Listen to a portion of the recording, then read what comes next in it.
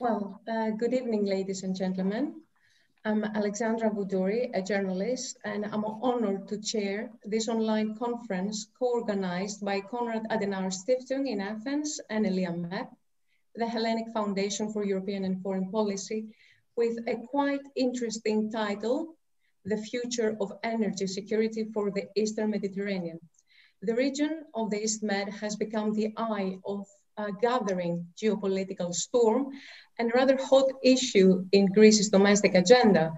But I must admit that related issues and the recent crisis are usually seen by the Greek media and thus by the public solely from our own perspective. But current developments obviously could not be seen only through one perspective only, since the East Med and particularly the issue of energy security and future solutions involves all countries in the region with no exclusion. Moreover, under certain conditions, it also involves many third parties, I could say, and their own multiple interests as well. So I would like to thank both Konrad Adenauer Stiftung and Elia ELIAMEP for this initiative to give our audience tonight the opportunity to hear as many views as possible and the future, of course, perspectives of such a timely topic. But first, I would like to give the floor to both Mr. Henri Bonnet, the head of Casa Adenauer Stiftung, and Professor George Pagoulatos, the head of ELIAMEP, for their welcoming remarks. Mr. Bonnet, uh, the floor is yours. Good evening. Thank you, Alexandra. Kalispera, good evening and welcome. I'm very happy that today it is the pleasure of us, the Konrad Adenauer Stiftung, to cooperate with ELIAMEP on this important topic. And I think it comes at the right time. Right now, European leaders are sitting in Brussels talking about issues which we also want to touch today, and especially two issues which also concern us today. This is not only the role of Turkey in the Mediterranean, in the Eastern Mediterranean, and possible sanctions, but maybe even more importantly, it's also about energy security and sustainability for the future. In the face of the current corona crisis, we are becoming more and more aware of avoiding maybe also the next, even more possibly bigger crisis, the climate change. But as with COVID 19, all of us have realized, I think, that cooperation is the key, not confrontation. We need open communication and exchange of information, not accusations and not provocations. That's why we're here today to exchange expert views from in and outside of Greece, to come up with recommendations and proposals for positive change in the geopolitics of this region. And in finding new solutions for energy security in our countries. Let me, remind, let me remind you that the Konrad Adenauer Foundation is a German organization and think tank close to the CDU of Angela Merkel, active we are already for eight years in Greece and Cyprus to enhance the dialogue between our countries and to find solutions to our common challenges. Let's hope that we will manage to do that also a little bit today. I want to thank all speakers for coming and tuning in from Germany, from everywhere else, and Greece especially. I want to thank ELIAMEP for the partnership, which has proven again to be very good.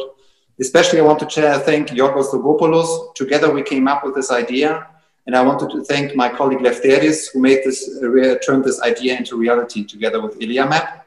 And already in advance, I want to thank our interpreters so that everybody can understand us. I wish us all a very good discussion and hand over again to Alexandra. Thank you.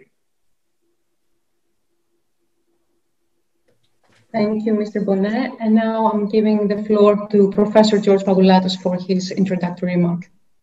Professor. Thank, Thank you all. Thank you, Alexandra. Thank you, Henry. It's a great pleasure to co-organize this event together. We've shared a, a long partnership with the Konrad Stiftung. Uh, for many years, we've been uh, organizing discussions, bilateral discussions between uh, Greek and German scholars and experts. Um, in fact, the, the background for this event uh, probably started in early March 2020 with the visit of the Greek Prime Minister in Berlin where he met with Chancellor Merkel, inaugurated uh, Greek German cooperation on green energy transition. Part of it is the uh, Volkswagen initiative today in Astypalea and other initiatives on the way. Um, and given this, and given the ambitious targets set by Greece in terms of green energy, in terms of transition to renewables, we consider this an opportunity to also launch a bilateral dialogue uh, between our think tanks um, in order to better approach the question of new energy solutions. And of course, talking about energy, this is an area that crosscuts between different fields. Um, it's one of the fastest developing uh, policy areas exactly because of its dynamic and having to do with a single market, with development, with transition to green growth and sustainability, but also with security. Um, enhance the dimension of energy security. And of course, in our part of the region, energy security and, and security in general in Eastern Mediterranean is uh, a matter of great uh, concern, a great challenge, as uh, Henry has mentioned. So it's a, it's a great pleasure to welcome you all here, our two expert panels of excellent experts from Greece and Germany and beyond. And um, I look forward to the discussion that will follow. And I pass the floor back to Alexandra to coordinate the discussion. Thanks again.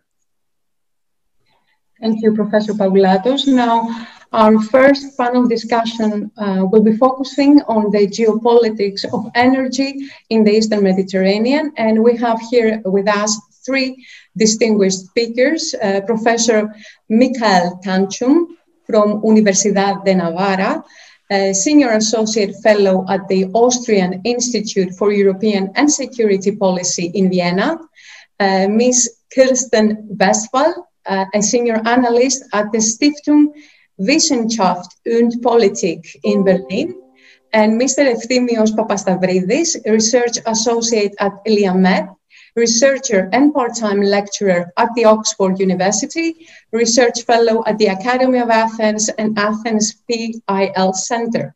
So our speakers will give firstly an introductory statement, and then they will receive some questions. I would like uh, to firstly welcome Professor Tanchum, the floor is yours, Professor. Good evening from Athens. Ah, ah, thank you. Thank you very much. I would like to thank uh, the Konrad Adenauer Stiftung, uh, Greece and Cyprus office, and Eliamep for having me to this event.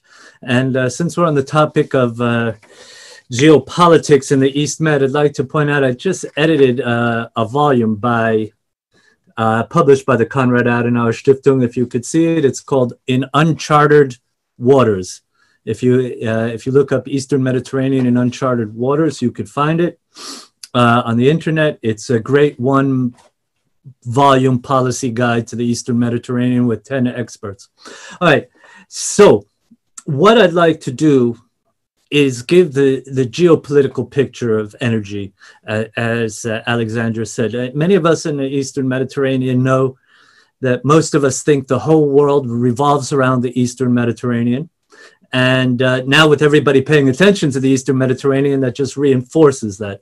But the Eastern Mediterranean crisis, which is mainly now three interlinked crises uh, the Cyprus problem, the Greece Turkey maritime boundary dispute, and the Libya crisis, the civil war, uh, are part of a Mediterranean system. And that's the real geopolitics we have to understand. Uh, that the Mediterranean as a whole functions as a system and there are four players. The Mediterranean is a game of four. The four largest countries in order Egypt, Turkey, France, Italy. These four countries by themselves are over 50% of the Mediterranean basin's population. They're the four largest armies. And so the main fault line uh, in this geopolitical uh, competition is the partnership between France, and Egypt to block Turkey's expanding influence in Africa, which is a big concern for France, as well as Egypt, and in the Middle East. Now, this partnership has been joined by the uh, United Arab Emirates. So, in that sense, the action of these players in the Eastern Mediterranean is a part of this greater struggle. And that's important when for greece when greece wants to understand what are they going to do. Now i said there were four right? The wild card in this whole equation is italy. Um, now and that's what i would like to speak about a little bit and talk about how this all how do these four players greece cyprus uh, and others fit into this uh, sh- struggle well uh, Italy, when we speak about Italy, we have to speak about the energy company Eni, which everyone knows is the main player in the Eastern Mediterranean. Um, Eni is the largest company in Italy, not just the largest energy company, the largest company, and it is de facto run by the Italian government. I'm not making that up. It says so right on Eni's website. You can read it. So we all know that Eni is the lead operator in Cyprus, but for Eni's point of view, more importantly, they're the lead operator in the massive Zohr field, which was discovered in 2015, uh, which made Eastern Mediterranean marketable, the Eastern Mediterranean natural gas marketable. And Eni also can, uh, ha- owns 50% in one of the two LNG plants in Egypt. So as soon as Zohr was discovered, Eni came up with a plan to market, to put Egyptian gas, Cypriot gas, and Israeli gas all together, and any others that would later become available, send them all to Egypt, and then market them as LNG. This made sense for Eni since, uh, and it made commercial sense. But a big problem is it left Turkey totally out of the picture, like a geopolitical time bomb. Uh, Turkey had built a massive pipeline infrastructure, especially even uh, the TANAP pipeline across Turkey, uh, and none of the and and has its own ambitions to send gas. So all of that would be made null and void be through this marketing scheme. So we get to 2018, the second discovery in Cyprus, the Calypso discovery, uh, made Cyprus a player. Now, of course, uh, Glaucus really makes Cyprus a player. But as soon as that uh, discovery was made, Eni was sending a drill ship to uh, in the same um, licensing block, and the Turkish navy, uh, Turkey sent its navy to block the Eni ship and drove it off. This is when Turkey's gunboat diplomacy started. Uh, Turkey was trying to send a message from its point of view. Uh, it had the opposite outcome. It, it drove uh, Italy closer to Cyprus and it brought France into the picture because to mitigate its risks, Eni uh, opened up all its licensing blocks to the French giant Total. Uh, and that gave France a kind of foot in the Eastern Mediterranean. From Total's point of view and France's point of view, uh, their stake in Eastern Mediterranean gas is not worth anything for, compared to what they're doing in the Eastern Mediterranean. It just gives them a way to enter this this uh, uh, they uh, to oppose Turkey. Now, but from Eni's point of view, this is why I want to leave, it's not just Cyprus or Egypt. In the Mediterranean, Algeria and Libya are Eni's big, big concerns. Eni controls 45% of all of Libya's oil and gas. So this is why the connections are very important. 45%. All of Libya's natural gas is exported to Italy, all of it exclusively. So uh, that's 8% of Italy's consumption. Now, every field, every all of that infrastructure of oil and gas in Libya, except for one field, is in Western Libya under the control of the government of national accord, which is supported by Turkey.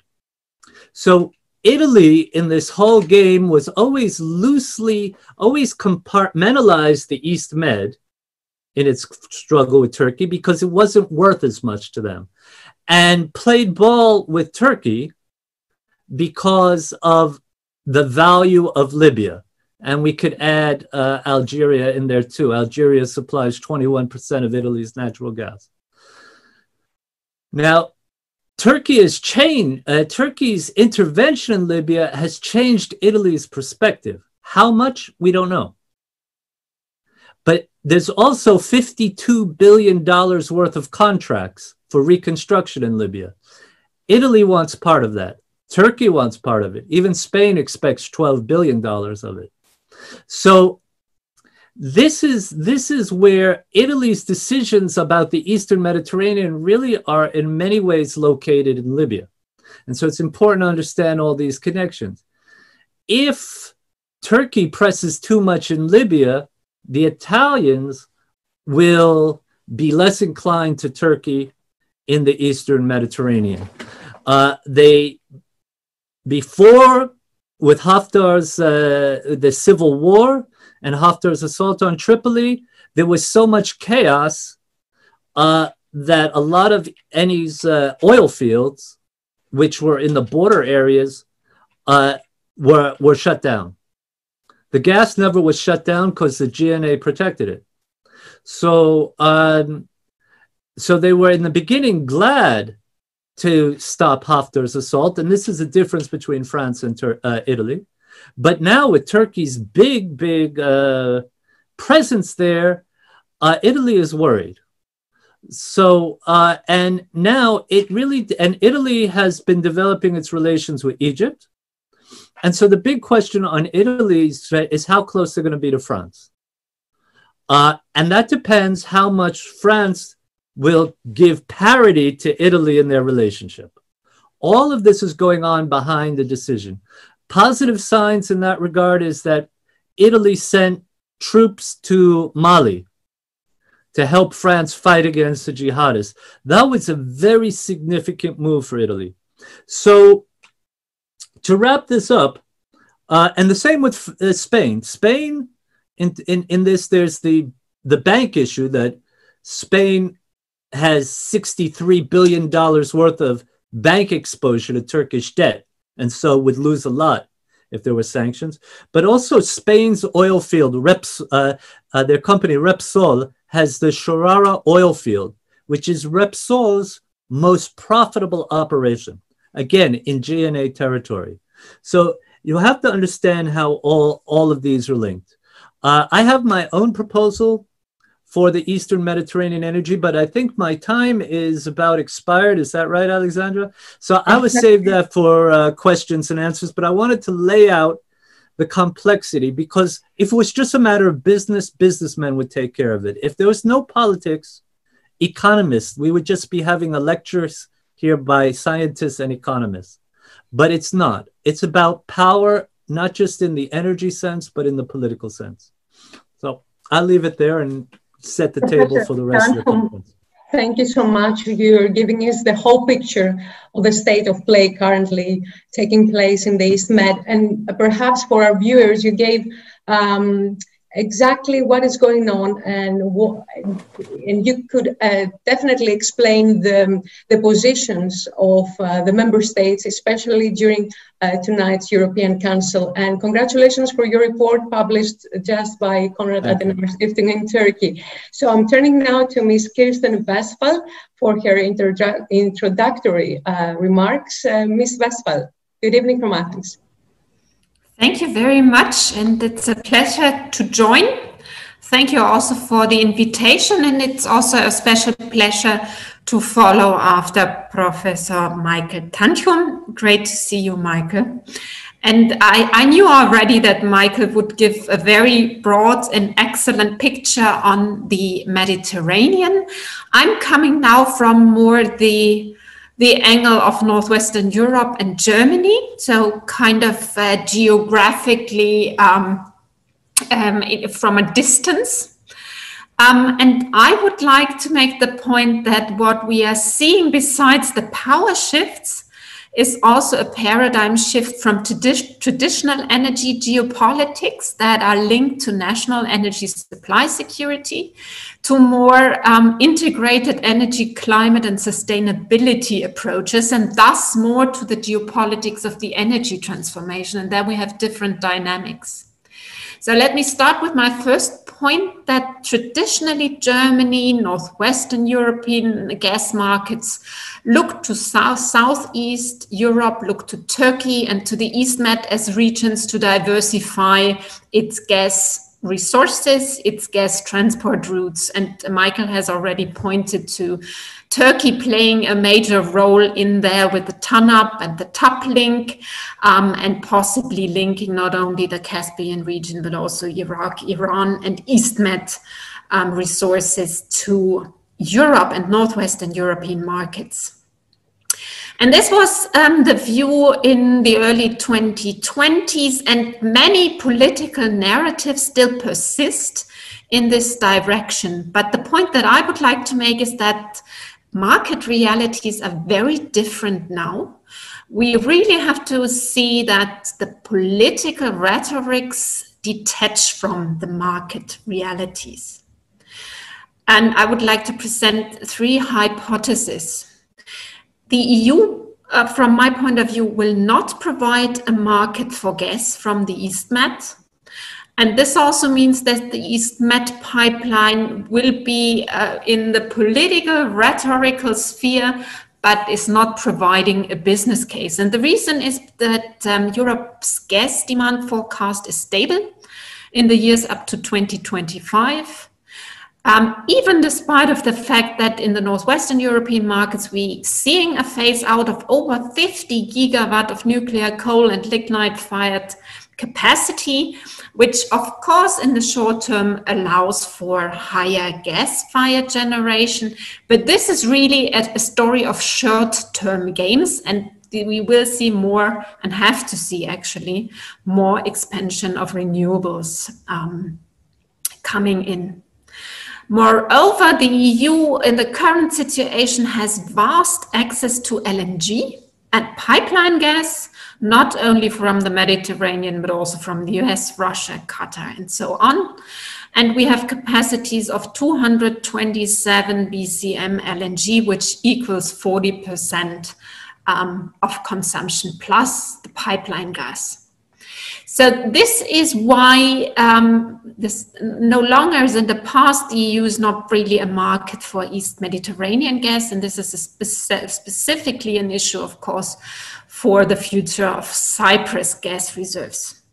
And what comes on top of is it is that the global market also is amply supplied until mid 2020. And this is also why the current World Energy Outlook sees no way for the relative expensive gas um, of the East Med to come to production of certainly I'm talking about those fields that, that are not producing yet. Um, and what comes also on top of, top of this is that COVID 19, of course, meant a dash for demand um, um, globally. So we will have a prolonged phase of slowly um, um, narrowing markets. And of course, COVID 19 also had an impact on the oil and gas majors. They have cut into their investments and also shifted to renewables. And this is the second point that I would like to make, and these, these points are briefer. Um, the Green Deal has yet to be translated um, in the EU into energy policies, especially for the region we are looking to, Greece, Southeastern Europe, um, Cyprus. So if we look beyond 2025 and we assume that um, the European Council today, tomorrow will decide on climate neutrality and minus 55% till 2030, then of course the East Med gas pipeline doesn't not only have a business case, but is also an antagonism stemming from a different age. Um, because we're seeing that the Green Deal and the recovery program for the next generation, of course, wants to spend 750 billion euro, uh, but of which 40% will be directed to climate and biodiversity, diversity, and gas projects may only include it if they do not significant harm. So this point is very critical because Actually, it, um, it excludes gas-fired power plants, but allows for co-generation of power and district heating. So there, there will be less money available for these projects. So what we're looking into in the future is really, and I think the second panel will touch on this, is energy efficiency, electrification playing a major role, low carbon, carbon neutral molecules like hydrogen. Um, and this, this is really a point where, where, we're already seeing the dynamics changing. Why am I saying that? Then this is my third point. There is an issue of regional integration and fragmentation in EU energy markets themselves due to shifting energy geographies. Um, so we are seeing both. We are seeing a kind of regional core region in northwestern European um, energy markets moving quickly towards um, decarbonization, looking into a backbone projects of hydrogen. But we have still um, a region in Southeast European markets um, but also beyond, which is still looking into a gas um, as a ways to decarbonize quickly or at least to, to cut emissions quickly. Um, so we have an issue of center and periphery, um, and we see in the so-called peripheries still growing gas markets. Um, it, it, may sound odd that I'm talking about peripheries, but just think about the synchronized electricity grid, which is the continental uh, electricity grid of ENTSO-E. And we have still less or not interconnected um, um, islands in particular, like um, Cyprus, where we still have an issue to interconnect. So this is why I'm talking to um, um uh, about periphery and centers.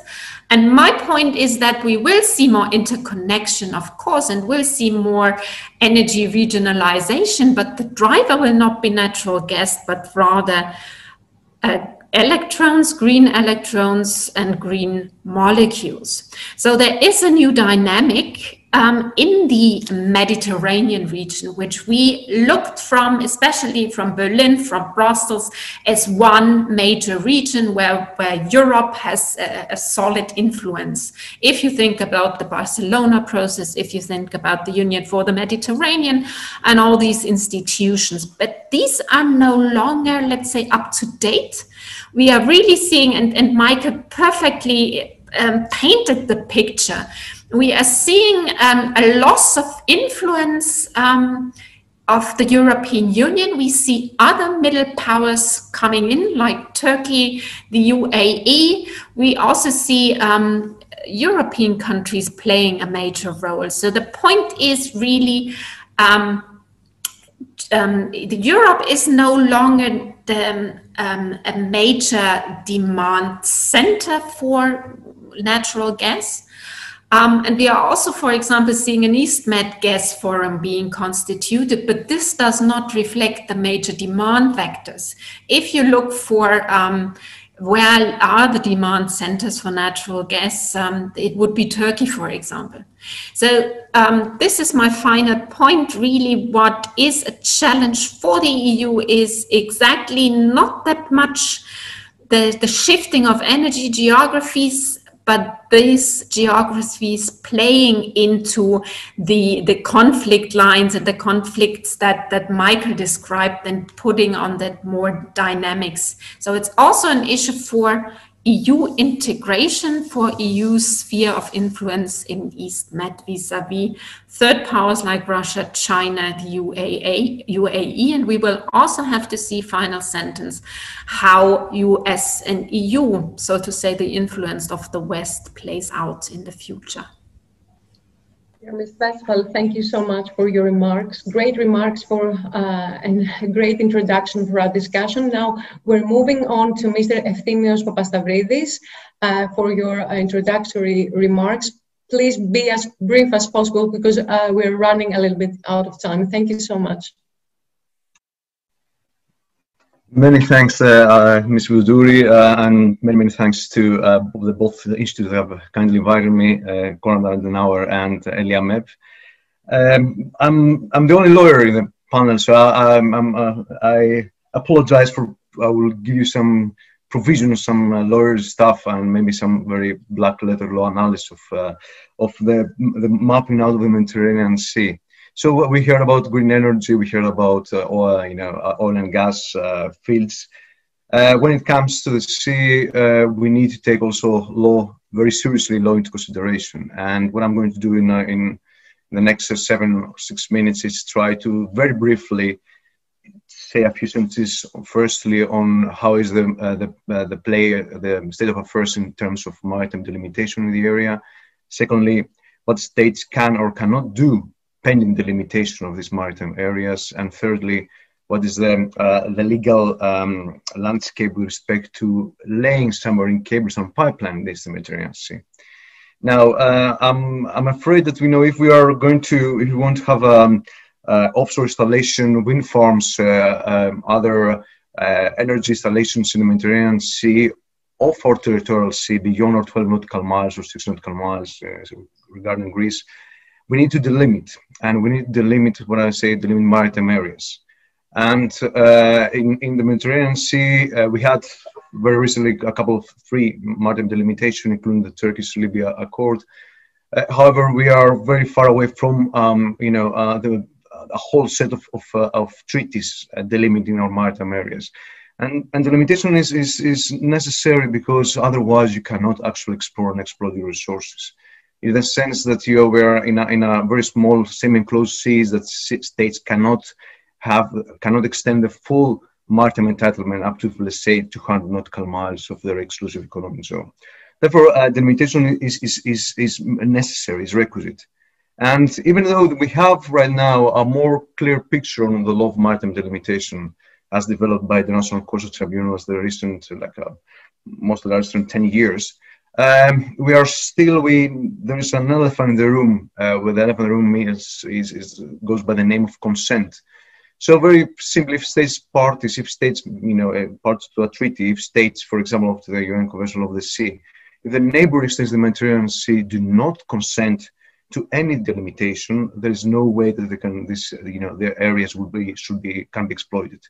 And unilateral actions under international law are not opposable to other states if they're not valid under international law, as the ICJ, the Dutch Court of Justice, told us uh, some 70 years ago.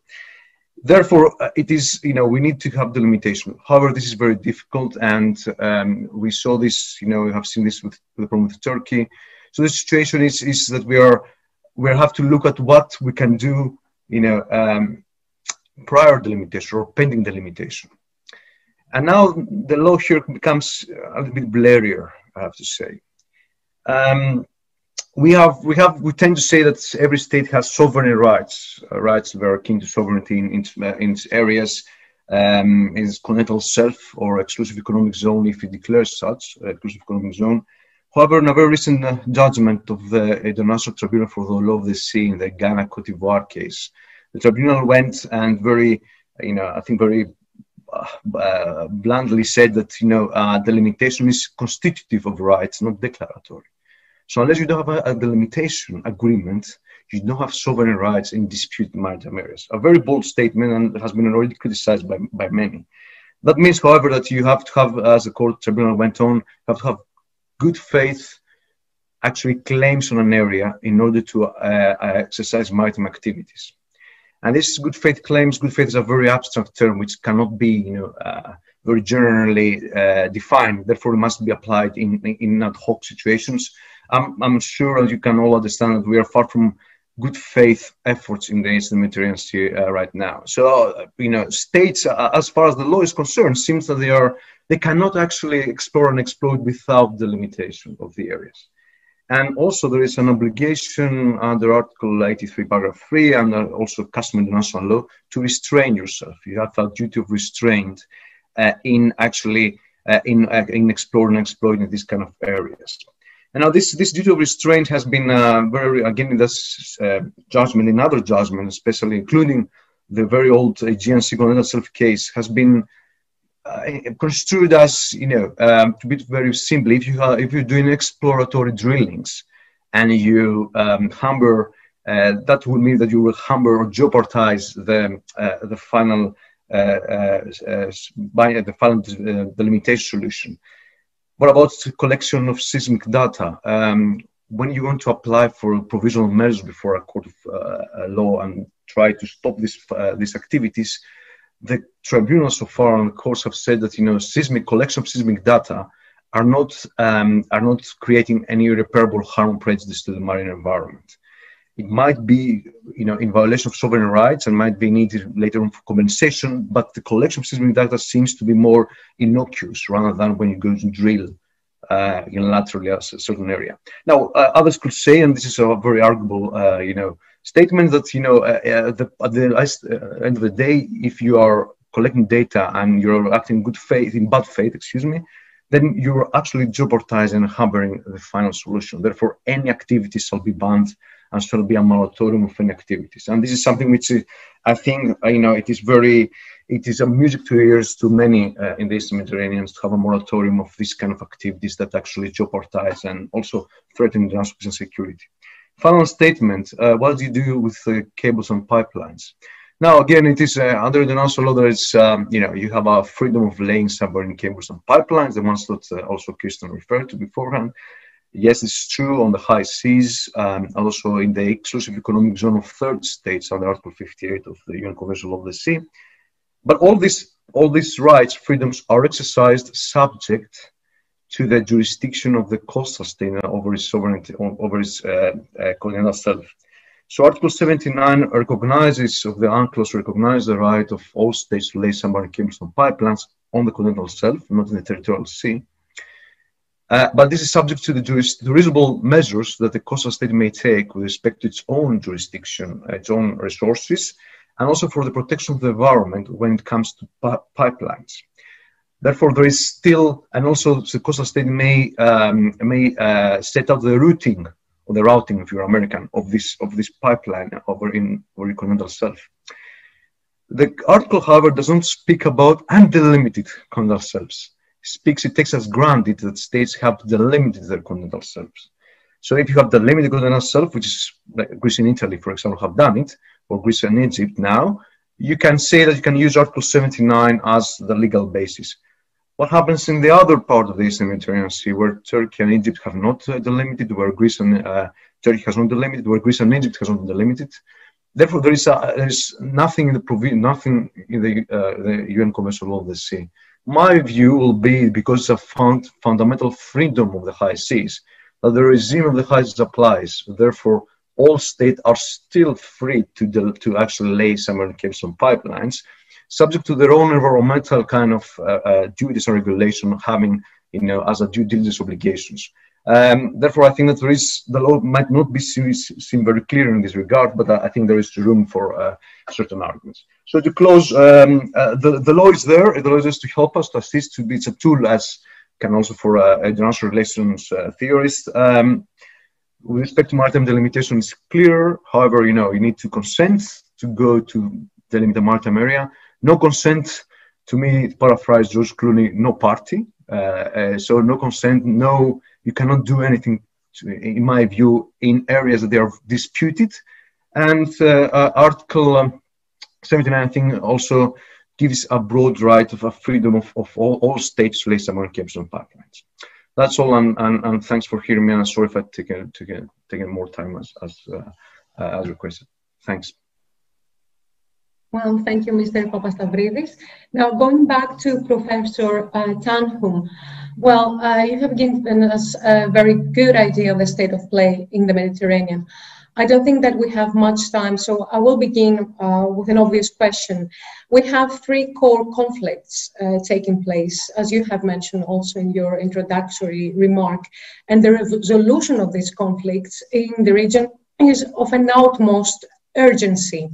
How feasible is this right now? And what are the limits of influence of the European Union and perhaps of the new US administration uh, to mediate in this conflict? And um, I will leave it there because I've seen that, uh, that you agree with Mr. Westphal on the issue of uh, where the market is exactly right now. Well, yeah, well, uh, I'll answer your question, but as listening to the uh, to my esteemed colleagues. Uh, it's nice to see you, Kirsten, and Efthymios. Nice to meet you. Um, I think it's very important for Greeks to look at this from the point of view of the best interest of Greece. Part of the problem, which is kind of implicit, is uh, Eastern Mediterranean gas was seen by the European Union as uh, a replacement for Russian gas. I have a proposal it's going to be published, a policy report. I'm not going to describe it now, where every country in the Eastern Mediterranean can make more money uh, and all the political issues can be left to the side. Now, I hope that interests you enough. But the point is, the demand is in the Southern Mediterranean, it is in the Levant and the Maghreb. I've run all the numbers, they're in the report. And it's, it's you know, I listened to uh, a speech by Paul Kagame, the uh, president of Rwanda, and he told the Europeans, he said, the time for adult supervision is over. Is one of the lion economies, and it, the same applies to Greece. Greece needs an adult adult conversation with the European Union. Greece should be the lead is should be one of the leaders for connectivity to where the demand is. Uh, and this is where, uh, which is in the Maghreb.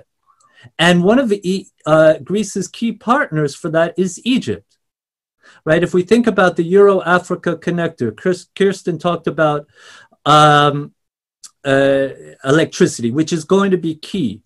But again, the demand is not going to be in Europe. The demand is going to be in North Africa. So Greece needs to think very carefully about its relationships, and it should it should the European Union should see Greece as one of its main arteries to interact with Africa and take a different look at Greece.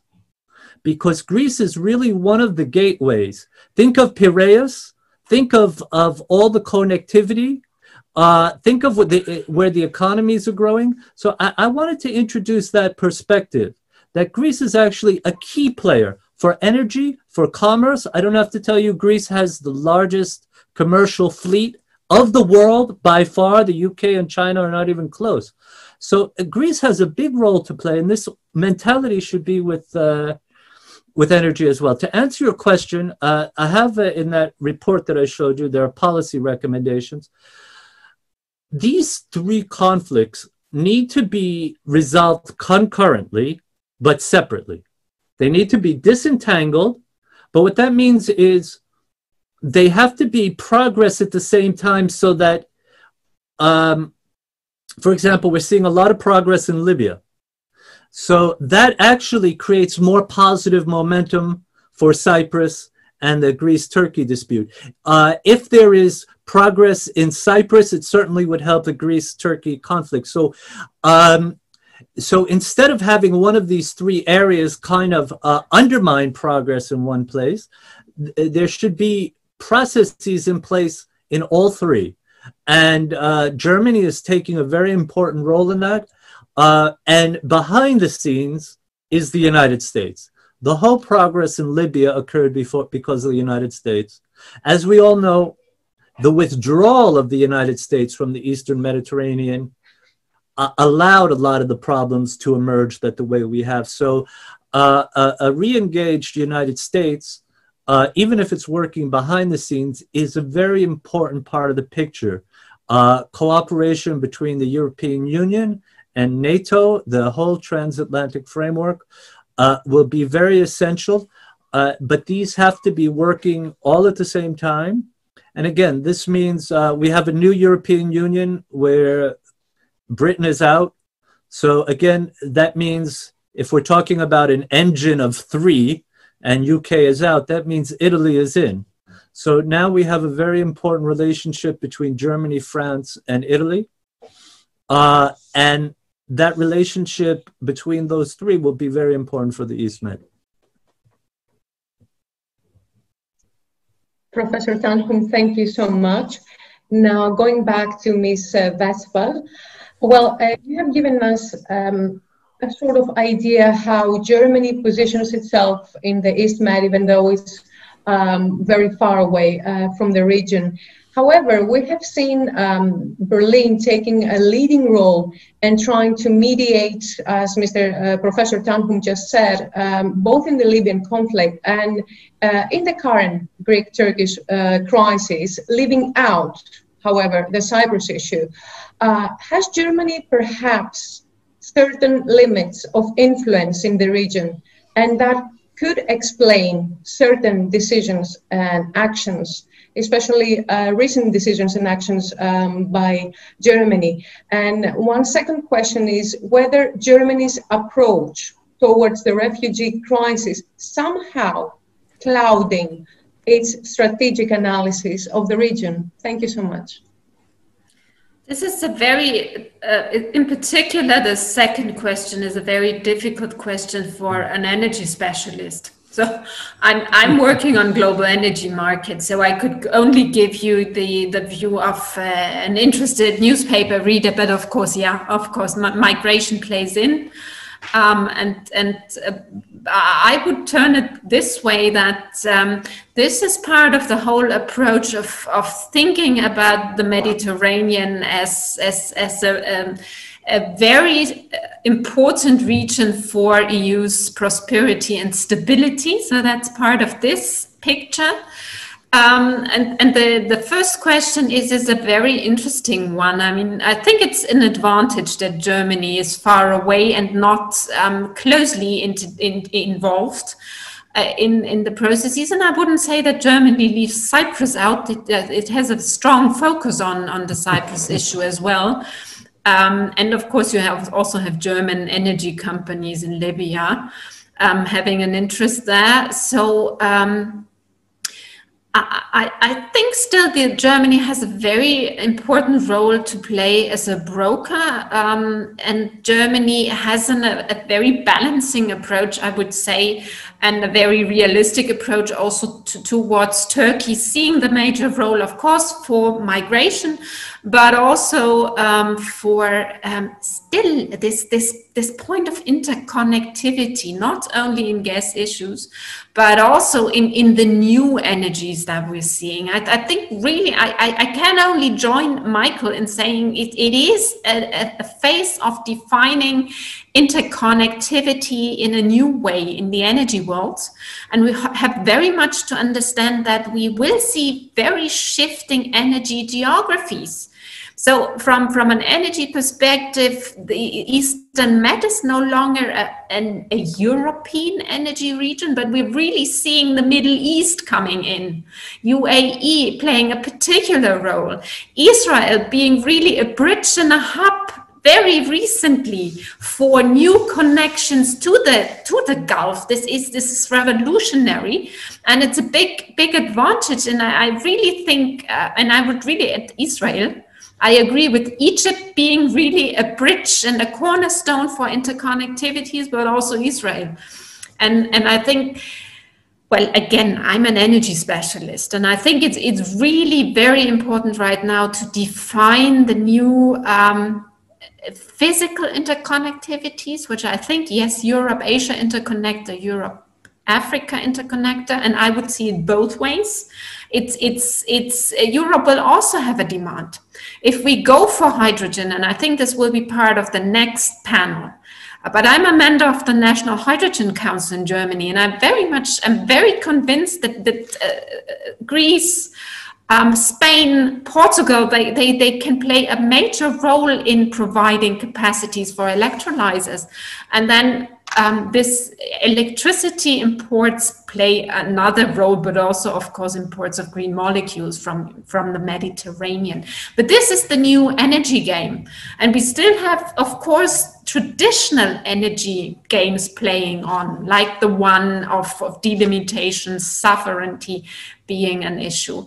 But it, it, I certainly think um, this will require very active and strategic approach by, by the Commission, but also Berlin. Thank you so much for your reply. I, even though I have a feeling that I put you in a difficult position and forgetting that you're an energy uh, analyst and not a geopolitical analyst. Thank you so much for this.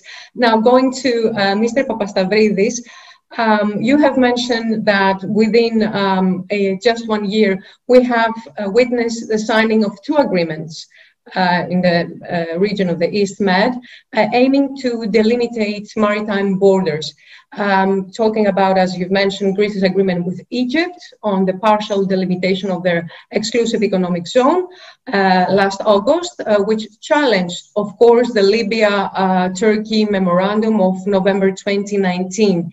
Um, from a legal point of view, I would like to ask you whether there is an area where uh, the two agreements are coinciding. Um, and if there is a case that Turkey makes a certain move regarding this area that both agreements are coinciding, uh, whether there are any legal implications and how could Athens respond to this move uh, legally? And a, a third and very short question, are there any legal tools or legal steps that Greece could use or take in the future regarding a possible settlement with a new government in Libya? Thank you. Okay, thank you, thank you, Alexandra. Uh, too too too many questions and too difficult questions, I have to say, but uh, very interesting ones, and thanks for for posing them. now, um, in, in, international law, in, in, in, general, treaties bind only, only their parties to them. So the, the Greece uh, Egypt uh, treaty binds only Greece and Egypt. Uh, the Turkish Libya binds only Turkey, Turkey and Libya. Therefore, you know, uh, our our treaty is not opposable. Does not have any binding effect on, on Turkey. I mean, our agreement, Greece and, uh, and Egypt agreement, Egyptian agreement, and vice versa, right? So the Turkish Libya accord does not bind us at all. Um, therefore, you know, in, in terms of uh, Turkey coming into this the area that we have delimited with with uh, um, uh, with uh, uh, Egypt is something which the agreement as such does not forbid Turkey, does not ban Turkey to do this. So Turkey can come on the basis of her own agreement with Libya and uh, do some maritime activities in this area. Um, whether this will be uh, uh, prohibited under international law, my argument would be yes, because as I tried to lay out uh, uh, uh, previously, there is an obligation of restraint. So when, because this is a disputed area between Greece and Turkey, Greece uh, consider this is our, our own sovereign area area that we exercise sovereign rights. Turkey disputes this and thinks it's its own area based on a very far-fetched um, theory of the effect of violence. Uh, Turkey, by very simply thinks that uh, uh, Crete and Rhodes do not, have any entitlements to self, so they have only six nautical miles of territorial sea, which is by terms of geography, it is a little bit uh, of uh, uh, absurd, absurd argument. So they they will they will come here based on their own agreement. This will be you know any maritime activity will be in violation of international law. Um, what we can do, uh, two things we cannot do. Firstly, you know, we cannot use violence in the sense of uh, sink uh, Oruç Reis or other of vessel. This is uh, um, this. There's only you know the only one, the only case, the single case that ever a tribunal, the International Tribunal Court has said that there is a, a, a threat of use of force uh, in you know in violation of the UN Charter has been a similar kind of situation where Guyana was exploring an area and Suriname threatened to actually um, to um, to sink or to to uh, to sink the platform. So this is something we are not permitted to do to sink any vessel, and we're not permitted to arrest this vessel because it has immunities under international law. What we can do is actually take other measures under international law we call this countermeasures retortion. We can actually, for example, go to European Union Council and ask for sanctions against Turkey. We can go even to Security Council, as we did back in 1976, the UN Security Council. We take other trade measures. So there are other ways that in general, in general international law states often use uh, in order to actually invoke the responsibility of the other state and try to persuade the other state to return to uh, to lawfulness, right? So this is the way that we could, could act. And lastly, the question with respect to Libya. Uh, be, Libya has gone twice before the ICJ uh, against Malta and against for Malta and uh, Tunisia. Libya would like, I mean, would like to go with us also the ICJ. I don't think any, I don't find any problem of going to the ICJ and delimit the areas with uh, respect to Libya. And we are probably going to do this with uh, Albania. So something always recourse to judicial proceedings, something welcome because it will end the dispute. However, uh, you know, the, when we go to the with the Libya to the to the ICJ, the tribunal, the ICJ, the International Court of Justice, will not have jurisdiction to actually invalidate the Turkish-Libya um, accord because Turkey will not be a part of the proceedings. So we'll go for our own area, for our uh, overlapping area, but not with respect to the Turkish Libya, because Turkey is a third state, so it cannot be bound by the proceedings uh, by the, of the ICJ. I hope I answered your question as, as, as, as simply as possible. Very, very interesting yet difficult questions. Many thanks. thanks you did reply as simple as possible for our audience and within the time limit that I gave you, and that was a tricky exercise by me, and I'm really sorry about that. Uh, however, I'm, I'm, really sorry we're running out of time um, slowly, and I would like to give you back uh, the floor to all three of you for some closing remarks and perhaps some thoughts about uh, the future and uh, what is your take whether the region could become more volatile and what factors could perhaps uh, uh make this scenario not possible Uh, going back again to Professor Tanchum. So uh, the Turkish Navy did a report which reminded everyone that 87% of Turkey's exports, imports, its trade comes by the sea. Most of that is through the Eastern Mediterranean. So Turkey needs a peaceful Eastern Mediterranean. As I already mentioned, Greece has the largest merchant fleet in the world. Greece needs a peaceful Mediterranean. The Eastern Mediterranean is like a boat. You make a hole in one place, the boat will sink. It doesn't matter where the hole is. So there's an interest, we have to find win win solutions. Uh, Greece also really needs to take a leadership role. It's an EU member, a NATO member, uh, and it needs to take a bigger role in the Eastern Mediterranean, I think, in a, in a visionary role. As Kirsten and I have been trying to say, the future is a connectivity across the Mediterranean. I tried to lay out this is the big geopolitical game that France is playing. Italy has its own Italian word for it. They call it il Mediterraneo allargato, uh, the enlarged Mediterranean. Um, Greece, uh, just to put one, we talked about uh, Egypt. I- Italy built a connector to Tunisia from to take energy from Algeria to electricity from Algeria the the the the connectors from Israel to Greece uh, and and Egypt to Greece are larger than Italy's. Egypt right now has 12 gigawatts of surplus electricity to export. Um, again, Egypt and Greece are the are the are as a, a very fruitful partnership for connectivity uh, through hydrogen, it will be a big generating hydrogen, electric cables. As we know, we're moving to electric cars. Um, so uh, everybody has been very happy that uh, what Microsoft into, uh, has been invested in Greece. Well, that should just be the beginning. Greece needs to think of itself as a as a tech leader, as an innovation leader. It is a, it has the geography to play a very important role. And I think uh, Greece's stand on the rule of law, I think Greece's stand on also combining rule of law with real realpolitik. Uh, together, we can bring a more peaceful and more cooperative uh, Eastern Mediterranean. Professor Tanchum, thank you so much.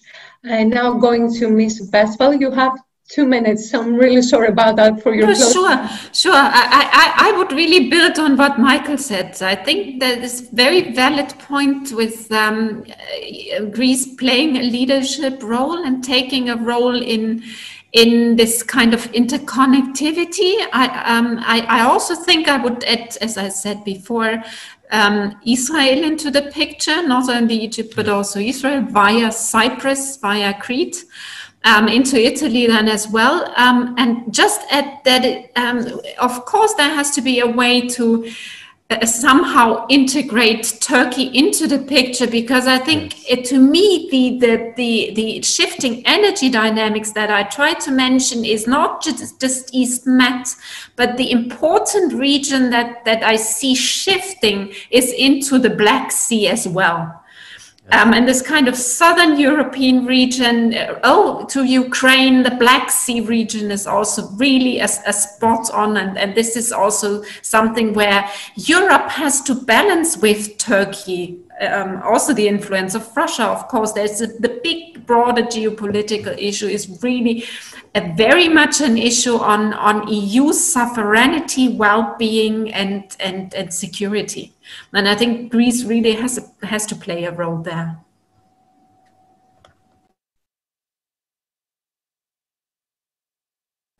Mike. Ms. Westphal, thank you so much. And for underlying the importance of no exclusions in the future. And future solutions need all parties involved in all countries of the region.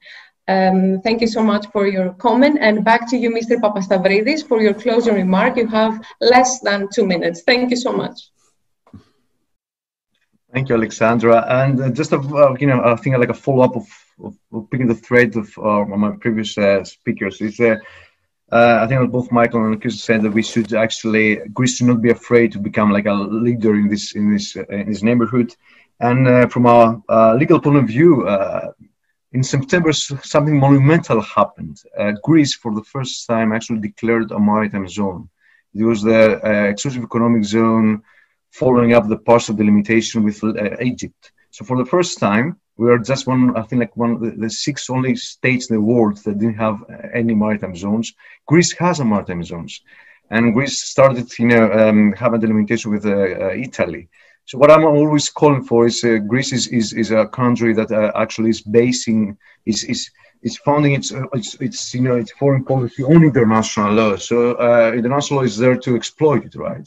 So I think that is you know we should see more like uh, this kind of uh, steps uh, on, on the side of Greece, you know, declaring zones, exploring exploring its possibilities also in the energy field.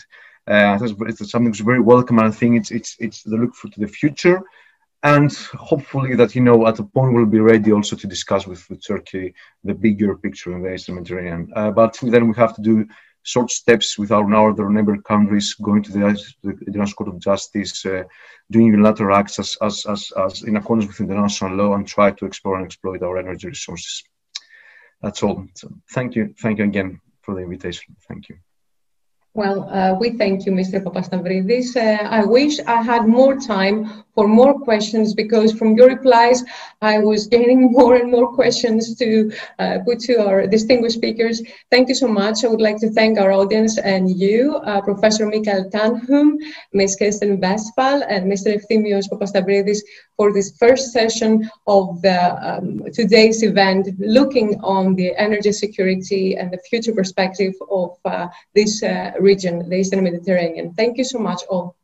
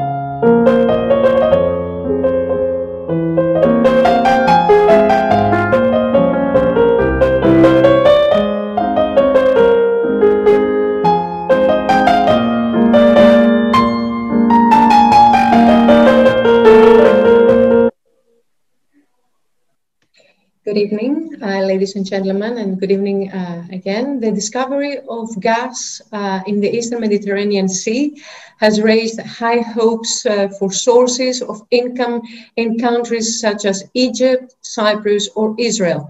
But at the same time, extracting gas could be expensive, risk regional stability, while the recent pandemic has definitely slowed down related activities and processes. Um, thus, questions related to renewable energies in the region have also recently surfaced. So this second panel of tonight's conference organized by both Konrad Adenauer Stiftung here in Athens and ELIAMEP is focusing on new energy uh, solutions for the Eastern Mediterranean. Uh, we have here with us uh, three distinguished speakers. Mr. Nikos Tsafos, uh, Deputy Director and Senior Fellow the, um, of Energy Security and Climate Change Program at the Center for Strategic and International Studies in Washington, D.C. Good evening, Mr. Tsafos. Uh, Ms. Maria Gavouneli, uh, Associate Professor at the National Kapodistrian University of Athens and Senior Policy Advisor of ELIAMEP in Athens and Mr. Michalis Mathioulakis, Research Associate of ELIAMEP and Energy Strategy Analyst and Academic Director of the Greek Energy Forum here in Athens. Good evening, uh, everyone. Um, I would like to uh, giving you the floor first uh, for your introductory uh, remarks. I will begin uh, uh, with Mr. Tsafos. Mr. Tsafos, the floor is yours. Well, thank you so much for, for having me and everyone for tuning in. Good afternoon, good evening. Um, I want to talk about the gas discoveries in the Eastern Mediterranean, and I want to ask a very simple question uh, What has happened to them? Um, and I want to ask this question, I think, because if you are not uh, an expert or not following the topic on a day to day basis, I think it is very easy to get the impression that we've discovered all these resources and then the politics got really messy. And if we only if we could only have a political settlement, wouldn't it be great? And wouldn't it be great to allow us to exploit these resources? That I think is an impression that is out there, and it's also an impression I think is fundamentally wrong. So that's what I want to talk about. And I really want to get across four points. One, most of the resources that have been discovered in the East Med in the last 10 years have been developed already. Number two, uh, we actually had more regional connectivity and regional trade between the countries in Egypt, Israel, and Jordan uh, 10 years ago than we do today. Uh, the third point is 10 years ago, the region was a bigger supplier to the world of gas and a bigger supplier to Europe than it was last year. And fourth, uh, there are some remaining resources to be developed. But the path to develop those resources is very difficult, uh, primarily because of commercial reasons uh, rather than political obstacles. So those are the four points I want to get across. So I'll be sort of very brief. So I want to begin my story in 2009. January 2009 is the first discovery made by Noble Energy of the Tamar field in Israel. It's not really the first discovery, it's the first major discovery. That's when the clock starts for our purposes. Since then, for the next 10 years, we have almost every year uh, one more discovery. We have Leviathan um, in Israel, we have Aphrodite in Cyprus, then we have Zohr in Egypt, then we have more discoveries. And so for a 10 year period, we have almost every year a discovery made in either Israel, Cyprus, or Egypt. So I want to review very briefly what happened to those resources and what happened to those countries. So for Egypt, I'm going to start from there because uh, Egypt uh, had a very big role in the regional market in 2009.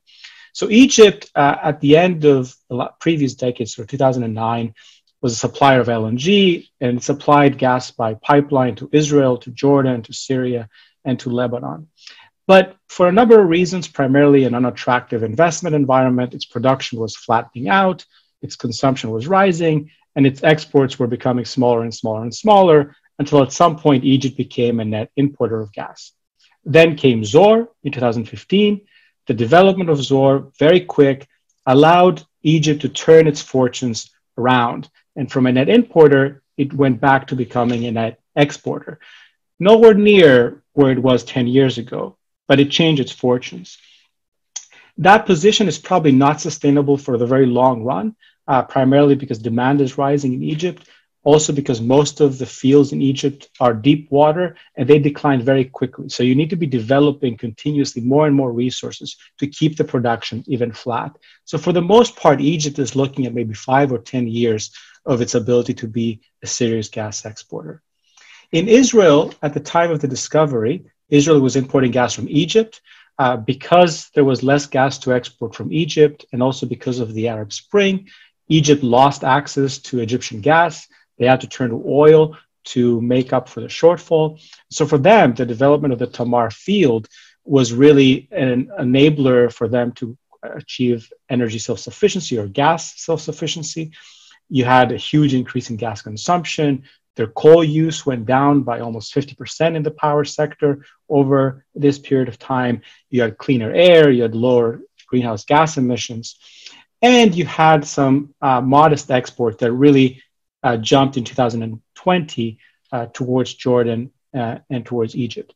And for Jordan, we don't usually talk about Jordan very much, but they too were hurt when Egyptian gas went away. They had to turn to oil to make up for the shortfall. And Jordan actually found a solution in LNG. They became an LNG importer to make up for the loss of Egyptian gas supplies. So, what that means is that actually the region over the last uh, sort of 10 years has tried to get back to the connectivity that it had in 2009. So, what do we have today? Uh, Egypt is supplying gas largely for its own market with some modest LNG exports. Egypt is primarily, uh, Israel is primarily supplying Israel with some modest gas to Jordan, increasing in 2020, and some modest gas supplies to Egypt, also increasing in 2020, but taking some time to ramp up. And what this means is that for the most part, what remains to be developed is the gas in Cyprus. That is the gas that just hasn't really been developed. There's one discovery that has been appraised, Aphrodite, made in 2011. There are two discoveries um, that have been made, Calypso and Glafkos, uh, which the numbers uh, or the resource estimate is still unknown. It hasn't really been appraised, and we don't have a de- definite number. Those resources are not in a disputed area. They're in the exclusive economic zone of Cyprus. Aphrodite goes a little bit into Israel. Uh, we can leave that aside. Um, but for the most part, uh, uh, Cyprus has been trying to send this gas to Egypt to be re exported as LNG. These conversations have been ongoing for a long time, uh, the same way that Israeli gas was meant to go to Egypt. Uh, also, these conversations have gone on for a long time. And it hasn't happened, I think, primarily for commercial reasons. To put very simply, um, if you want to sell gas to Egypt and then to export as LNG, you need a high price to make that happen.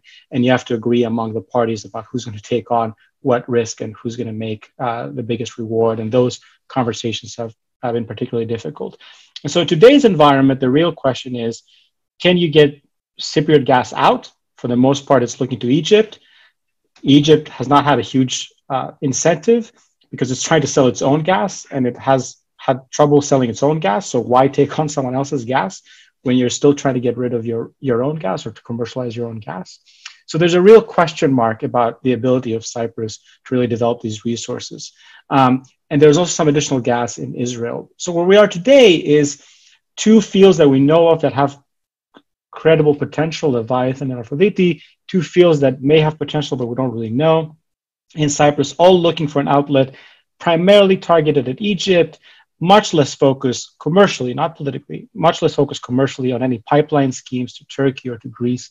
Uh, but that's really the question is at the end of the day, most of the gas that we found has been developed. It has been developed to supply the region. It has enabled an increase in regional connectivity. Again, not as big as it was 10 years ago. As a supplier to the world, it's still a very modest uh, region, much smaller than it was 10 years ago. And there's not that much gas that we have found that we're still trying to figure out what to do with. And so I think that is something that is important to understand as we think about the future of energy in the region, but also the future of politics and geopolitics in the region. So I'll stop there.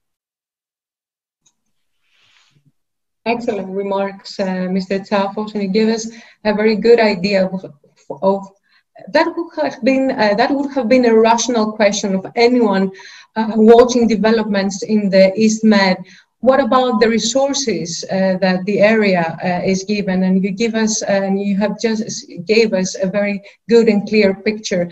Uh, thank you so much. And I'm now, now going to Professor Gavouneli for her introductory uh, remarks. Uh, good evening, Professor. Good evening. It's such a pleasure to be with you. Uh, today. It's always a pleasure to be around ELIAMEP and having the Konrad Adenauer Stiftung is an additional bonus. Um, I followed up on uh, Mr. Tsafos, and I, I, really feel that we are completely complementary because, of course, the next question is Is there only this type of energy production in the East Med, or should it be the only type of uh, energy production?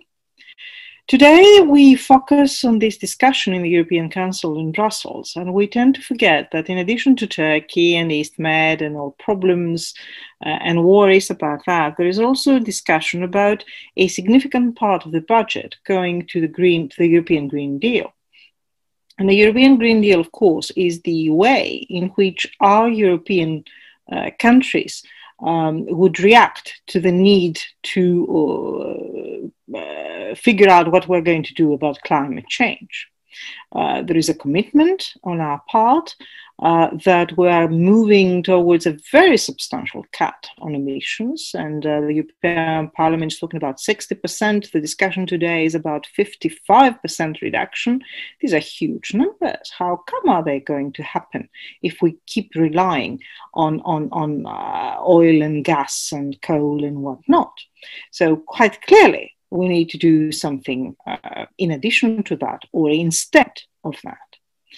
Uh, there's an, a second question that is really very, very uh, clear, especially in the Mediterranean context.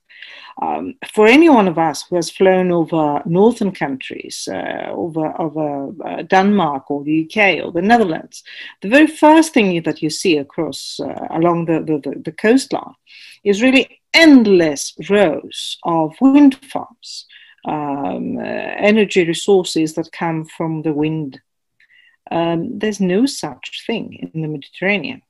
What is missing? The sea, the wind, or the sun for solar energy? There's clearly something very, very wrong.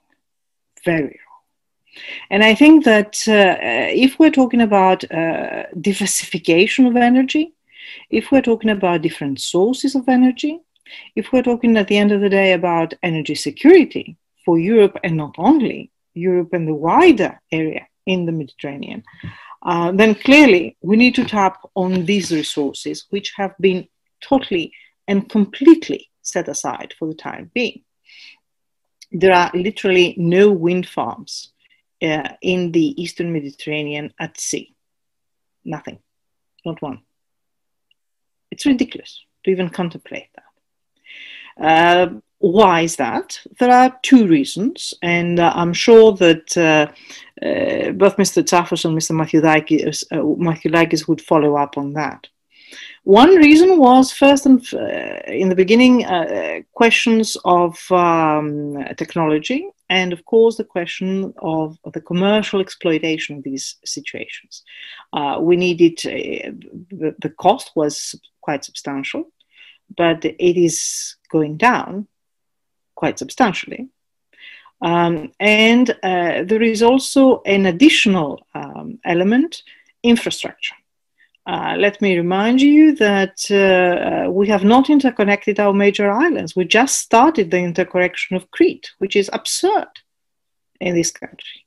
Uh, we have been extremely late in doing elementary things, things that we should have done uh, 20 years ago. But we started, which is, you know, always good uh, to follow up. Uh, you cannot have an offshore wind farm without interconnection. You need cables. You need cables to just bring in to the mainland um, the, the, the electricity that you are going to to produce, um, and you also need storage uh, facilities, something to put in this excess electricity um, uh, Germany, who has uh, which has an amazing capacity to produce um, electricity from wind farms, uh, had at times to switch off the system, especially when uh, the winds were particularly high. simply because they could not cope with the increase in production uh, without actually uh, running the risk of, of having abs- absolutely everything fried up. So you realize, of course, that in these circumstances, technology needs to be upgraded. And it seems that the technology is being up- upgraded for the time being. Commercial, uh, the, the cost for, uh, goes down. Instead of having, uh, I don't know how many um, wind, farm, uh, wind um, uh, uh, units installations separately, you can have bigger units that could actually produce more uh, which is uh, uh, commercially exploitable directly. Uh, so uh, there seems to be a number of issues that are developing in the right way. The second element, of course, which is very closely interrelated to the first one, is exactly the fact that you cannot have just a single installation uh, in the same way as you have a, uh, an oil platform. And that's the end of it you can have a single oil platform, and we do have a single oil platform uh, off the island of Thasos at Prinos, and we do produce from it. But you cannot have a single wind installation and start producing commercially, isn't it? So you need multiple uh, numbers of these things, and of course, these multiple numbers do not cannot be uh, uh, put in the same in the same place in the same location. They need to to expand. You know, you need a wind farm. Uh, uh, and in order to do that, you need space. Uh, and we're talking about the Mediterranean, one of the most crowded seas in the world because we have navigation. Um, we have uh, human activities left, right, and center. We have tourism.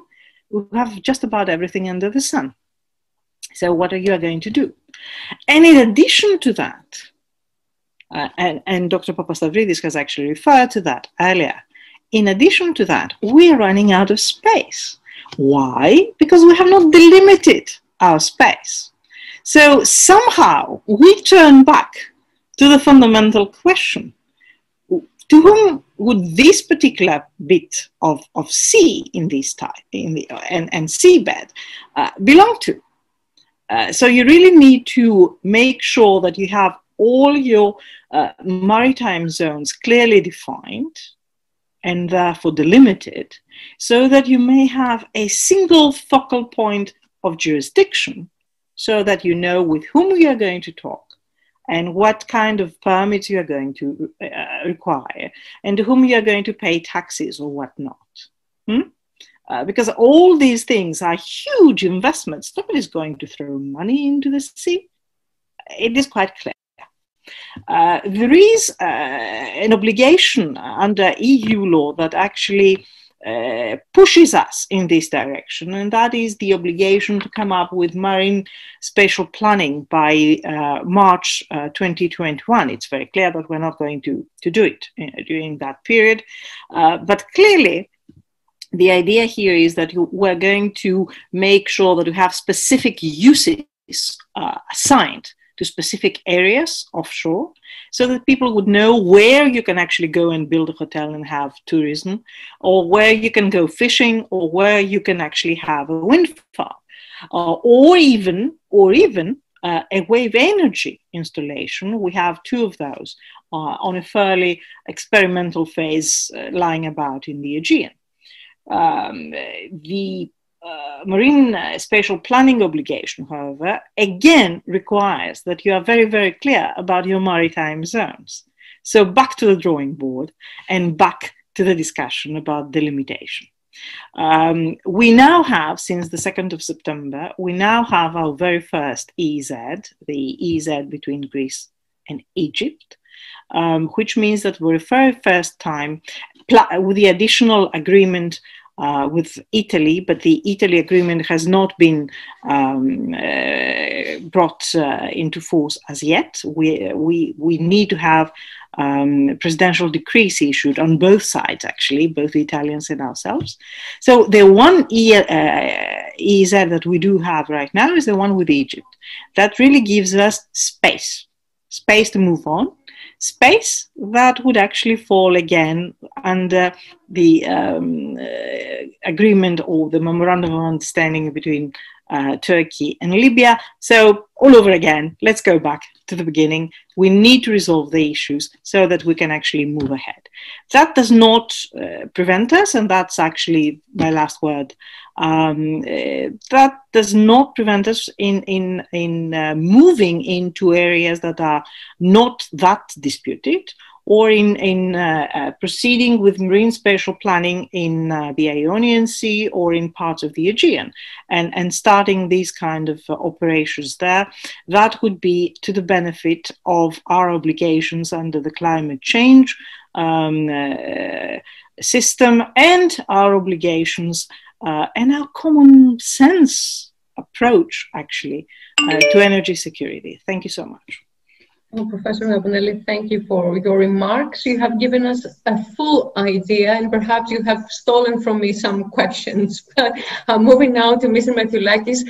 Uh, Mr. Mathioulakis, please um, just give us uh, as brief as possible your introductory remarks. Thank you so much.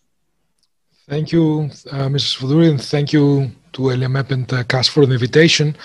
Um, well, there's a benefit and a problem when you're the last speaker of a in a in a panel and the whole session. It's, the benefit is that you get to hear all this interesting uh, um, points from all the uh, other speakers. The problem is that you want to comment. I want to comment on them, and uh, I wouldn't have the time to do that. I will, however, um, have a you very short time. Don't worry. I will okay. make sure that you will have time to comment. So. I'll, I'll, try and prioritize. Uh, before I start with whatever I'd like to say, I, I, would like to make a very fast comment. In the previous um, session, there was an elaborate and very interesting talk about uh, the cooperation, the possibility of cooperation between Greece and Turkey and uh, Cyprus and uh, the whole region. Uh, uh, my background, besides economic finance, is international relations uh, and energy, and I cannot help myself but being from the side of political realism. Turkey is a revisionist state. When you have a revisionist state, you, there is very little room for cooperation. Everything else sounds very nice and it's very hopeful. But when you have a state that is not content with their current status and they want to change it, uh, cooperation does not fall under normal uh, procedure. So this is more wishful thinking than uh, reality about what can happen. That was a parenthesis. I'm going to move on with um, uh, my part regarding energy security. I mean, the overall theme here is energy security in uh, Eastern Mediterranean and the new energy uh, solutions. I have to start by saying that uh, Eastern Mediterranean is a regional subsystem, and as any regional subsystem, is bound to be affected uh, by various layers. And the, the, the, the, bottom layer, the basic layer, is uh, the system it belongs to. So we're talking about what is Eastern Mediterranean energy affected by. Primarily, it is affected by three drivers. The first one is the competition between the United States and China that through the Silk Road has reached uh, our area and is influencing also energy uh, relations of all the countries involved. The second is the shale gas and oil revolution in the United States that is directly affecting um, Russian interests in our area, in all of Europe, and in the subsystem of uh, Eastern Mediterranean. And this uh, competition, since the United States can now hit some uh, um, very vital Russian interests, this affects everything in our area. The third, which is equally a big driver, is um, the effort to mitigate and fight climate change, and uh, therefore all the need to promote cleaner forms of energy, compared to the old uh, energy. These three drivers are influencing Europe in general, and of course, Eastern Mediterranean and Southeastern Europe. These systems are always interconnected. Taking that uh, into consideration, we have to see how each of these drivers, uh, how they're influencing the area. I'll start the other way around with the third one, um, the effort to fight climate change uh, this has been evident very strongly in European Union energy policy. The big difference being um, last year, 2019, with the change of the Commission, where basically the primary uh, policy of the Energy Union has switched to the European Green Deal. Um, now, the European Green Deal has been a policy that has derived from the Energy Union policy, but the major difference is that the Energy Union policy, which was from the previous Commission, their flagship, if I may say, was energy security. It was about securing uh, energy sources to the European Union with affordable prices, creating uh, the markets and the conditions for the markets to function. There was, while this is still at play, and then among these things was also, of course, uh, climate change and uh, promoting renewables. Now, the new Commission with the European Green Deal, of course, has kept all the previous, but it has switched. There was a shift in the focus where climate change has gone up uh, in the ranks and uh, energy security uh, has gone further down. Now, the big question there is, is energy security and the fight against climate, are they colliding or can, are cooperative policies? And this should be an easy answer the easy answer, the nice answer would be that these two are uh, collaborating policies and everybody would be happy, but unfortunately, very often they are colliding. And uh, we had the privilege of having some uh, uh speakers from Germany before, earlier. Um, Germany is a very good example of how uh, these two things might not actually work so well together. And I will come down to the to Eastern Mediterranean in the um, following that uh, logic. So Germany, after the Fukushima accident in, in Japan, they made a decision completely stop uh, another form of energy, nuclear energy. So they wanted to uh, decommission, and they moved over with decommissioning all the nuclear uh, plants, hoping that uh, renewables will come and uh, fill the, the gap. Renewables, however, are not still in the position to fill the gap. This has led to uh, Germany being much more exposed to gas imports in order to fill the gap. And this has made Germany more susceptible to Russian influence. We have seen these things influencing German policy when it comes to the pipelines, uh, the Nord Stream pipeline, and other policies in uh, regarding Russia. And in international relations, the basic thing about uh, political power in the international system is, is, has to do with the freedom of movement. When you cannot freely move in the system, when you cannot uh, perform your foreign policy without having to think and being bonded by relations with others, then there's a problem. And Germany has had that because they moved away from uh, nuclear. Now, there has been a lot of talk, and I heard it also in the previous panel about uh, the future of gas. That gas is, is uh, seems like it's um, um, a, a, fuel of the past, and now we have renewables, and everything will go uh, as we please, and therefore investments move this way, which is true. Investments in the European Union move towards renewables, and it's also true that uh, Eastern Mediterranean has been left behind in this department. There's great potential there that we haven't taken advantage of. However, we are speeding, I'm, I'm afraid that we are speeding um, towards a destination without having a safety net. Renewables can function perfectly so far in the European system because they're in relatively low levels. Today and tomorrow, one of the things that is discussed in the um, um, European Council meeting is raising these levels. The thing is that since we don't have yet effective ways to store energy massively, we have a problem. The more energy comes from renewables, the more unstable the system is. And when we're talking about energy security, and I remind that this is the main issue here, energy security means reliable uh, supply of energy. So right now, we cannot say at this moment, and with the technology that we have in our hands for the next few decades, because there's always the possibility of a surprise new development. But however, the way we are now, we cannot move fast uh, with renewables unless we have a transitional fuel. Transitional fuel that can that can has the, that can have the flexibility to support extended renewables is gas. That's one thing for gas. And then the second thing that we need to take into consideration is, like I said earlier, the other two major drivers, which is the United States going into the shale gas revolution and the competition with Russia. And the third one, uh, the US competition with China.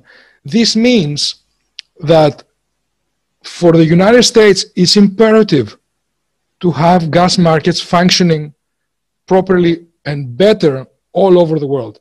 And this cannot be ignored. We can say all we need about how much better it would be if we had only renewables, but this will not be ignored. It's not good or bad, it is what it is. And the same thing goes with Russia and the way they're developing natural gas. And the same thing goes with the competition with China.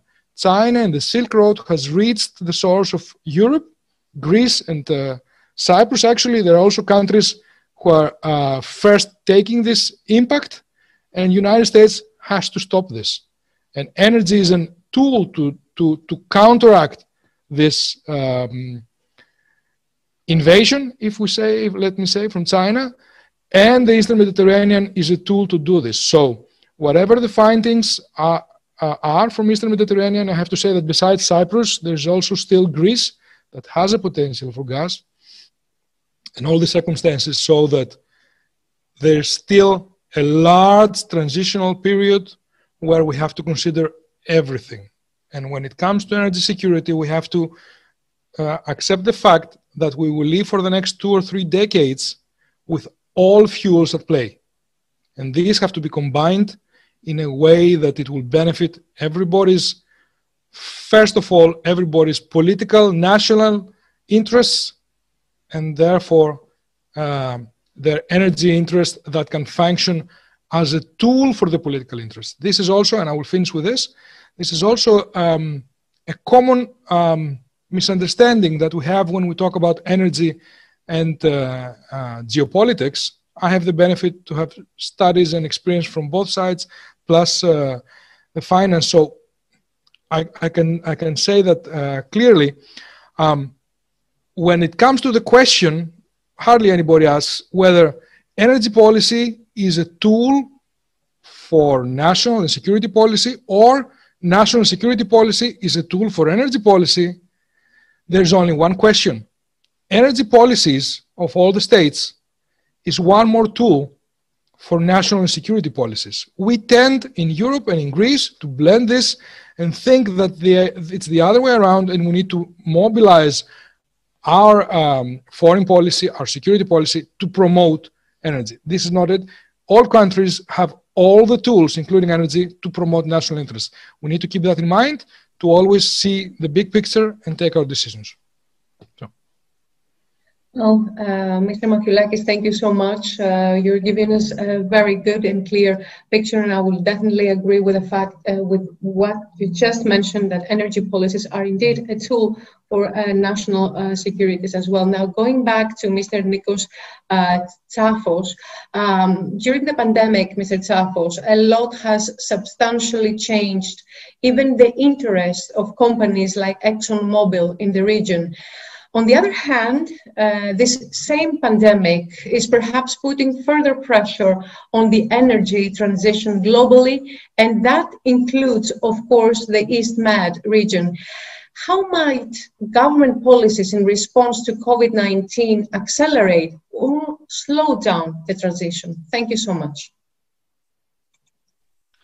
Well, thank you for that question. That's, I think, one of the hardest questions that we're trying to grapple with today. So let me tell you what I think we know so far.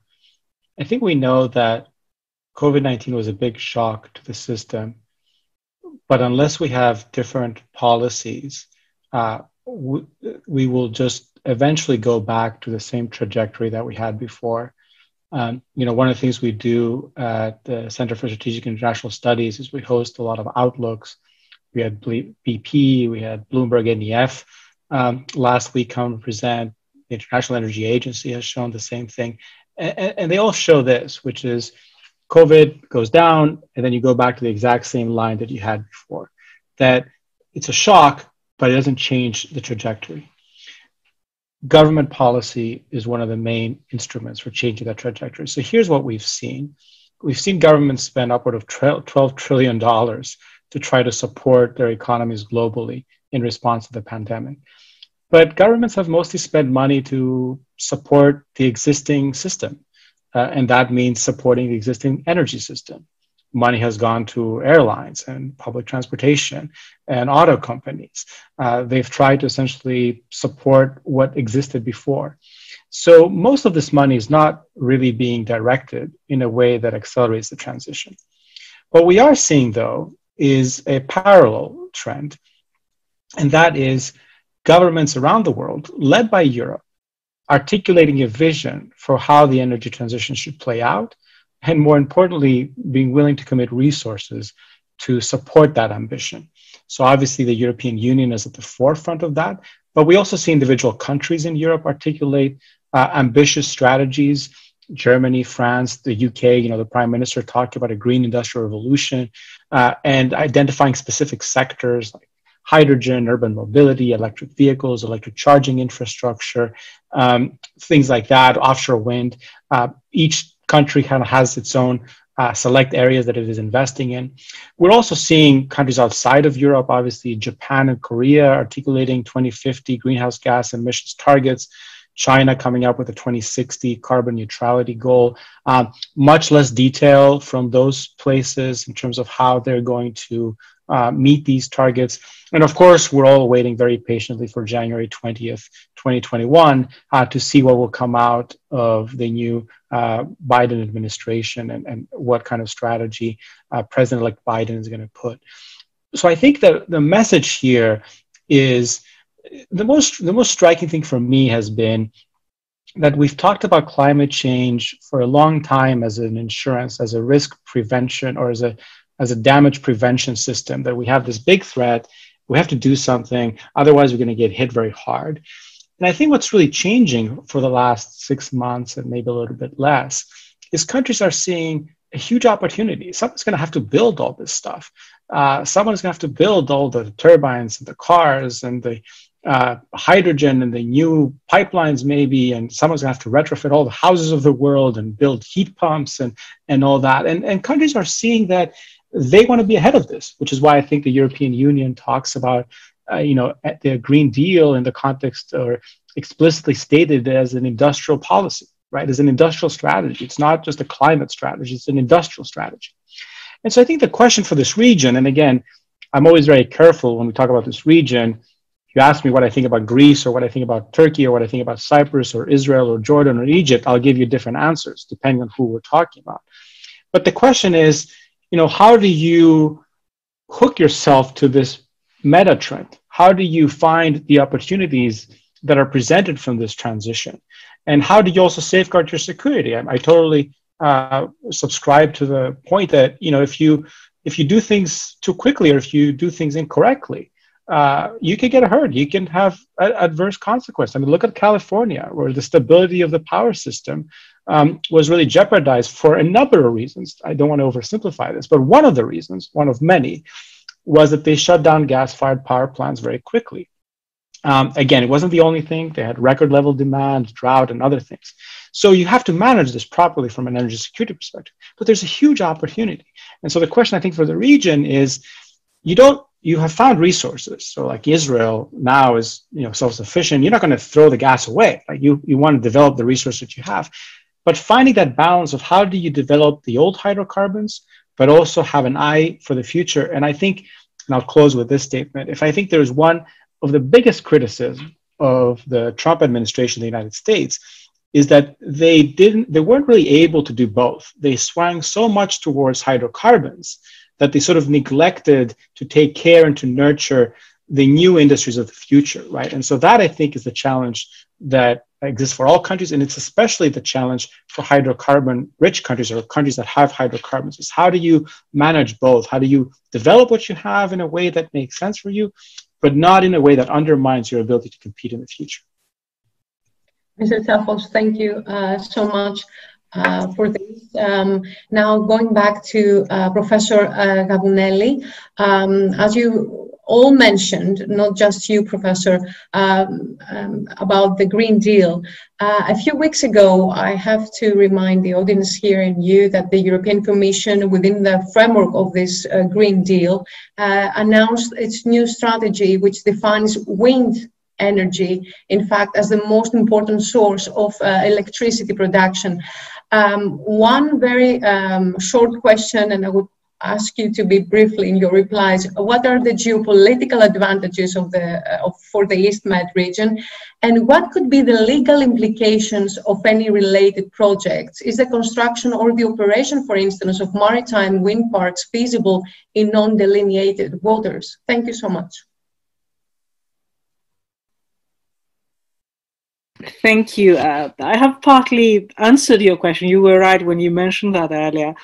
Um, it has already been said, and Mr. Tsafos has reiterated that, that we're in, a, in a, at an era of transition. And of course, when you have where you're transiting from one stable situation to another stable situation, you are by definition unstable. So how can you possibly talk about security when you, you, don't really know where you are exactly? The fact that the European Union is talking about wind power is simply because there is already enormous investment in wind power. And so, among the different alternative sources of energy, this is the one that we are most familiar with this and solar energy is actually uh, moving in those two. But wind energy is extremely important because uh, we do know up to some extent how we're going to, to, to work with it. Uh, it is very, very clear that as we're moving from one source of energy to another, uh, Mr. Mathioulakis is absolutely right. We need to coexist for a time being which means that uh, we need to be investing into new uh, installations, into new technology. And it is indeed a challenge for the future. It is indeed uh, an obvious source of uh, prosperity. At the same time, it is a risk. So, who is going to go and invest huge quantities of money in an area that is not clearly delimited, where you really do not know uh, to whom you're talking to.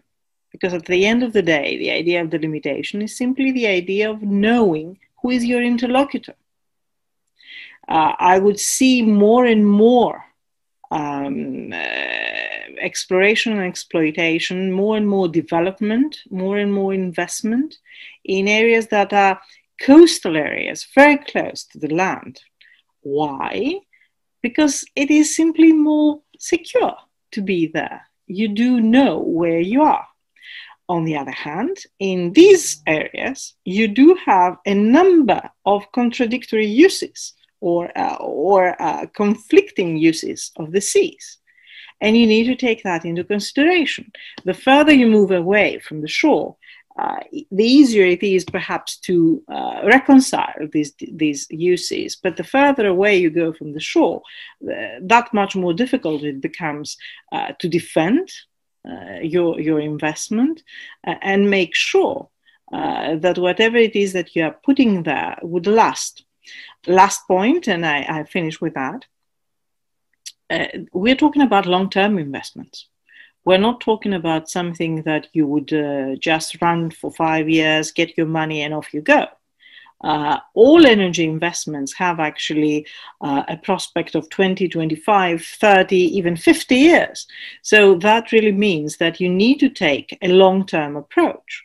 And if you are in, the, in this area uh, of transition, for 20, 25 years, then clearly the risk becomes even greater. And you need to take that into consideration as well. Um, bottom line, without really starting from a secure point, the most secure possible, you cannot end up uh, with, with a, a secure uh, end. So uh, you have to struggle uh, in, in an area uh, with shifting sands up to a certain extent, and you have to make do. Uh, it's nobody said that it's actually easy. Thank you. Well, we thank you, Professor. Uh, unfortunately, Mr. Mathioulakis, I would like to ask you, I would really, really wanted to ask you too many questions, but now well, we'll have to uh, limit myself in just one about the role of um, uh, hydrogen, especially for the EastMed's energy security. Yes. Um, well, actually, um, hydrogen is, in my opinion, one of the solutions um, for this transitional period. First of all, um, in the issue which is very important, uh, and I was very happy to hear uh, Professor Gavouneli say it. Um, why don't we have more renewables in in Eastern Mediterranean? Uh, I believe the major um, issue is that um, hydrocar- hydrocarbons are primarily controlled by the government, and it's easier for the big companies to make uh, deals with the governments. When it comes to renewables, the companies are smaller, each project is smaller, and your companies are more susceptible to the situation in its country. The governments, on the other hand, they don't have the same control that they would like to have. And that means that the companies on the other side, they need better investment environment, more secure investment environment in order to proceed with the investments, while it's not the same uh, you can afford to be more risky when it we're talking about big uh, uh, big gas or petrol uh, companies. So um, this is a thing, a reason. Otherwise, I and going going back to um, to hydrogen, I think this is a very uh, promising solution to combine what we have and what we can do, and this can be combined in two ways. First of all, um, talking about talking about green hydrogen so electrolysis from uh, renewables to produce hydrogen, this is the best way to actually also solve the issue of um, um, storage of energy. So power to gas basically, and this way we solve a lot of problems at the same time. The, there's a great wind and solar potential in the Eastern Mediterranean. There is uh, plenty of water. Things, um, there's a big issue regarding uh, hydrogen about how much water you need and whether you need it, you need only fresh water. There has been a lot of whoever is against hydrogen, they say that there's a lot of need for fresh water. This is not the case. Technologies now you can use desalination, so you can use water from uh, from the sea, also from wastewater. So actually, the the concept of having renewables uh, in coastal areas and this way produce hydrogen and from this use it as a fuel or use it to store energy and solve the whole circle. This is ideal, and the Eastern Mediterranean could do this. The problem would be what I mentioned earlier about um, stability in the investing environment. If we're talking about Cyprus, um, things are better. But if we talk about in, in, Israel, but if we talk about Egypt and other countries, things might be a little bit more shaky. So it's a little bit more difficult. But uh, I think hydrogen has a great potential. And I'll just put a small parenthesis before I finish to combine it all. Blue hydrogen, so hydrogen produced by natural gas with CO2 capture. So, because without it, then we're talking about brown, it's a whole different story. But blue hydrogen could give the economies of scale needed in the beginning to boost the whole hydrogen uh, infrastructure and technology and end up eventually only with green hydrogen, which anyway um, Eastern Mediterranean could use by utilizing much more renewables. So. Mr. Mathioulakis, thank you so much. Um, I would like to thank you to thank all of you unfortunately, we run out of time, but I think we gave, um, you all gave a very good account and a fair analysis on the future, actually, of energy security for the Eastern Mediterranean. I would like to also thank our audience and personally now Mr. Tsafos, um, Ms. Maria uh, and Mr. Michalis Mathioulakis for the second uh, session of the event, online conference or, or co-organized by uh, Konrad Adenauer Stiftung here in Athens, and uh, of course uh, ELIAMEP. Uh, thank you all, and uh, have a very nice rest of the evening. Have a good evening, everyone.